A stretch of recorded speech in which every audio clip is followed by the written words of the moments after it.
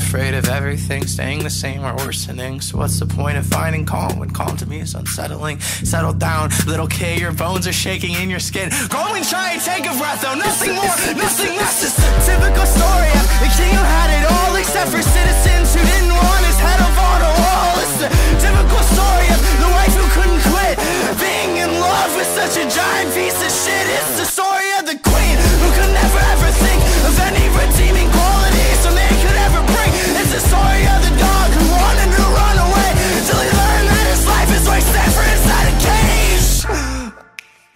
I don't really need much, just a place to be alone, and you don't really see much. I think that I'm invisible. My mirror shows another guy. A guy doesn't do shit, he just sits and is miserable.